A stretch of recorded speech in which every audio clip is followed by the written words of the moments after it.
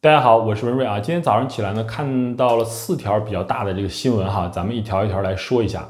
首先，第一条新闻呢，就是很多人也都看到了，就是有人在传哈，大家说是马化腾的一段文字，在社交媒体的一段文字。但这个事情我不想多说，因为我也没有办法确认它到底是不是马化腾说的。但是和这个事情相关的一件事儿，这个是真实的，而且这个事情呢，我觉得在某种程度上来讲，比马化腾说的这段文字呢更重大啊。什么事情呢？就是在马化腾的这个文字下面哈，就有人说了，有一条留言说，现在除了这个胡锡进啊，就没有人这个关注经济了，就是意思胡锡进自己在关注经济。然后呢，就是马上哈，胡锡进他就发了一条微博哈，大家可以看到，这都是真实存在的，他就给自己辩解说，意思说现在这个怎么能说就我一个人这个关注经济呢？大致的意思了，就是还有很多人在关注经济如何如何，你就看出看出来他心里非常紧张。他就对这句话哈非常紧张，因为这句话他正好在这个就是马化腾所谓的马化腾的那段文字下面，所以很多人都能看到，所以他非常紧张。他为什么紧张呢？那这背后的这个意思就很明显了。原因呢，我给大家分析一下，就是现在李克强在不断的关注经济，那么习近平呢，他坚持自己的总总路线不动摇，那就是他不关注经济。那么你要是关注经济，那好像就是说你是在支持李克强。那再延伸一点说，就是你是在反对习近平，给人就是这样一种感觉嘛，对吧？那再说的深入一点，那就是什么呢？现在习近平已经用他的这个总路线和经济对立起来了，就是习近平现在是和经济对立的。你要谈经济，你要谈多了啊，那人家就可以给你扣个帽子啊，你是在你是要反对习近平，就这样一种感觉。这个社会现在就走入到这样的一种非常荒唐的这种程度当中去了。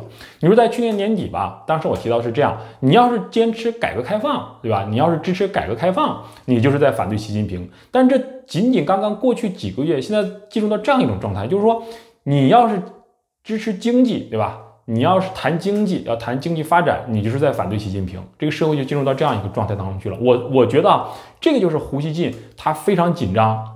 然后要马上澄清、要解释的一个核心原因，不知道大家认不认同哈？这是第一件事儿。第二件事儿是什么呢？就是北京开始现在就是说，看好像是朝阳区吧，有一个小区开始进行硬隔离哈，像上海一样进行硬隔离，就是在这个呃单元的出入口，对吧？用一些什么钢筋呐、铁板呐给你固定住，不让人出来。然后我看到有一位女士也非常非常气愤。那这个事情它是个案吗？我觉得不是，它应该有一定范围。有一批小区可能都要进行这样的处理，不可能只单独就对那一个门进行这样做。那这个事情肯定不是基层官员他自己敢动的，肯定是有来自上层的这个命令。那到底是怎么回事呢？是蔡奇要迎合这个习近平，让习近平高兴，他要他也要这么做呢？还是说有一些官员就是要通过这种方式，对吧？给习近平上眼药，然后让大家看看这是多乱呐，连北京首都北京都变成这个样子了，对不对？啊，你看习近平这做的很错误啊，是还可能还有这样一种意味吧。总之这个事情嘛，它就是一个非常不好的一个信号，对吧？连北京都这样了，对吧？那么整个全国哪儿还能幸免呢？对不对？那就几乎是给每个人心里面都放了一个怎么一个非常不安的因素，大家就会觉得我不知道在什么时候，在什么地点，因为什么因素就有可能被关起来，这是非常非常不好的一个信号，它就会引起很多人的这种心里面的这种乱吧。现在是这样，习近平嘛，他就是释放了一个口号啊，坚持我的总方针不动摇。关键是你怎么不动摇啊，对不对？你下面你也不说，就像毛泽东似的，一定要赶赶英超美，那你怎么赶英超美啊？是不是？你得总得有个具体的策略。习近平不说，那你们下面就自己弄去呗。下面自己弄怎么办呢？那就乱弄呗，对不对？反正我只要表现的很不动摇，对吧？啊，那习近平可能就高兴。至于说老百姓怎么想，至于说经济如何，至于说其他的这个负面的社会影响，不管啊，就是给你乱来。那这个社会不就要乱套了吗？已经开始出现这样的一个情况了，对吧？这这这俩前面这两件事吧，我觉得这个还不算这个这个荒唐啊。最荒唐的，今天我看到的这个消息哈，就这两这这一段时间以来吧，我觉得最荒唐的消息就是这个吴尊友哈，所谓的首首席专家吴尊友出来讲话了，他提出个什么概念呢叫间歇性排毒。哎，我一看我就想笑，你知道吗？就是像我这个人，一般对别人的观点嘛，我一般都是很谨慎，都是很就是尽量我想听听他到底讲什么，我也不会去笑话别人，我也很少去去反驳别人，我顶多我就说啊，尊重你的观点啊，我的观点呢可能跟您不太一样，基本就这么说。但是我看到他说的这个话，我就特别的想笑，你知道吗？就是他他这个话怎么来的？就是很多人吧，老百姓是很生气，就整天让我们下去检查检测的，对不对？天天排队，说很累很累，对吧？那密密度太大了，为啥要这么做呢？人家吴尊友就给出观点了，说你们呢这个东西叫这个间歇性排毒，就有时候你去检查的时候吧，对吧？你你查不出来，然后那个检查完了以后吧，可能你就哎这个排出这个毒素了，所以是要不停的密集的检查。当然他话没这么说，但大致意思就这么意思，我就用大白话给大家解释清楚。所以我想起这事就很可笑，你知道吗？那为什么说你也不是专家？对，文瑞你也不是专家，你你你笑什么？对吧？人家没有说的是对的呢，对不对？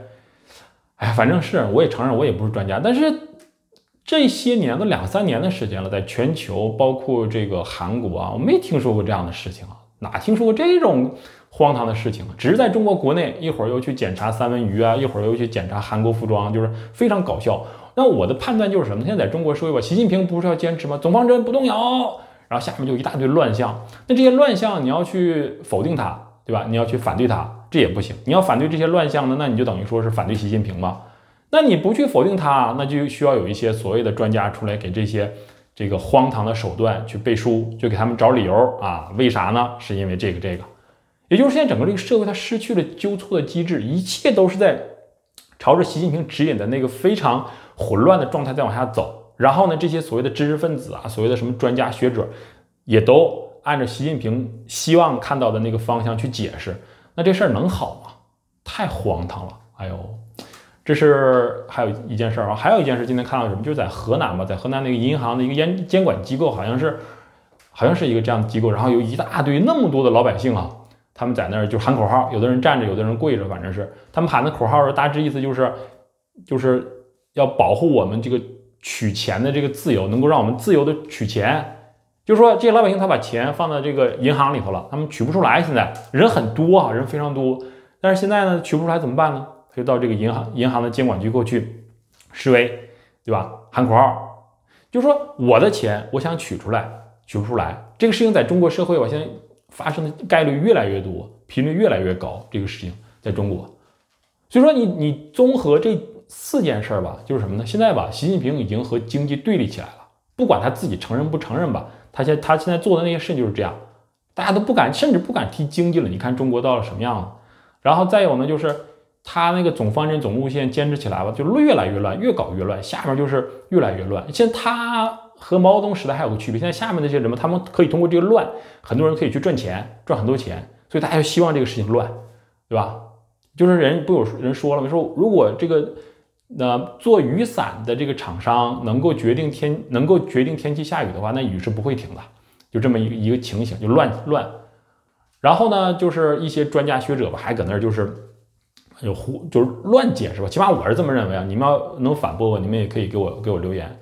然后老百姓的生活情况呢，现在是雪上加霜，失业啊、房贷这些都不提，就是自己在银行的钱，慢慢慢慢的，你要想取想取出来，都越来越困难。这就是中国社会的现状，对吧？你说我一直强调这个乱，有老人说怎么乱了，哪儿乱了，对不对？你不要老是整这些整这些大词儿，搞标题党。